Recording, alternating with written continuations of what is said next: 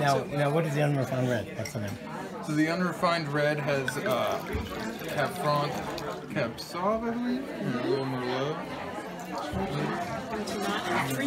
And you said this is more. Uh, it's it's getting more popular. Or? Yeah, I think a lot of people love this wine. Just it's it's nothing that you're going to see anywhere else. That blend is completely unique to our winery and our winemakers. And our winemaker just goes off of you know he tastes the wines by themselves, straight to notch, straight caps off, and then creates the wine blends from there. Now, you- are these where are these grapes grown? Are they grown? So these grapes are grown on site, and I gotta double check for that specific one. Yeah.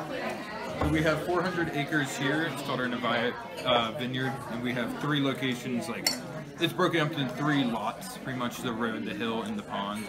And we have a road, a hill, that's and a a pond. That's a pond. yeah. We're trying to figure: is it a river or is it a pond? Yeah, no, it's a pond, but the beautiful river is right. If you um, on your way up here, the river. If you look at there's the river and then um, Sugarloaf Mountain. Okay. And that's actually where we get the name Tarara from. Sugarloaf looks like Mount Ararat, which is where uh, I think the guy Yeah, with the the, boat, was, the ark yes, right. landed. The guy, The guy with the boat. Yeah. where the So ark it's landed. So Ararat they were like, backwards. yeah, it's Ararat backwards. Okay. so. And Nevaeh is heaven backwards. so- Ah, Okay. Now, now I'm cracking the code here. yeah. yeah.